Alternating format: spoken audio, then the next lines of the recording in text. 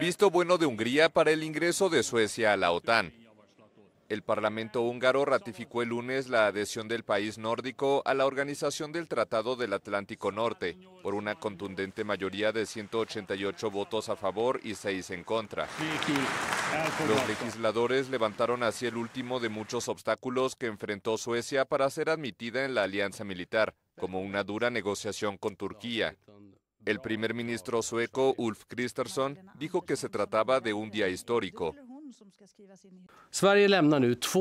Suecia deja atrás 200 años de neutralidad y no alineamiento. Es un gran paso. Debemos tomarlo en serio, pero es también un paso muy natural que tomar.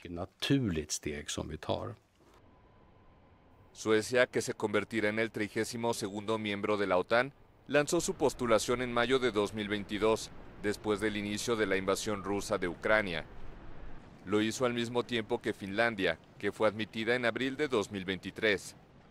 Estocolmo y Helsinki rompieron con años de no alineamiento, luego de que el conflicto en Ucrania marcara un cambio drástico en la opinión pública.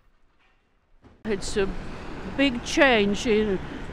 un gran cambio. Suecia no ha estado en una alianza militar por muchos años. Bueno, no puedo recordar desde cuándo es un gran cambio, pero también es un gran cambio con una guerra en Europa. Uh, Será más seguro con las conexiones, el acercamiento con otras corporaciones y países que ya tienen acuerdos, acercarnos a nuestros vecinos europeos. La mayoría de ellos también están relacionados con la OTAN. Las Fuerzas Armadas suecas cuentan con 50.000 soldados, de los cuales cerca de la mitad son reservistas, y el primer ministro declaró en enero que su país está dispuesto a proveer tropas a las fuerzas de la OTAN en Letonia.